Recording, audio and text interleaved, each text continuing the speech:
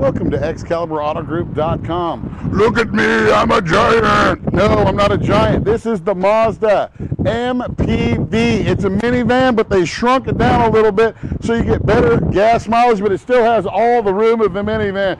You've got your roof rack right here, your factory tent in the back. Up here, super clean for a 2005. Aftermarket stereo, you got a Kenwood in there with the 8-inch port so you can plug your iPad in, get all your music rocking and rolling.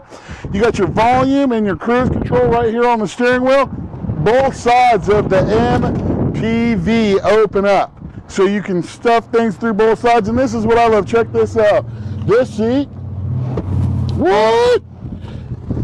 The back seats are adjustable. You ever been in the back seat and your legs and you're like, ha ha ha ha ha. These ones slide down and then check this out.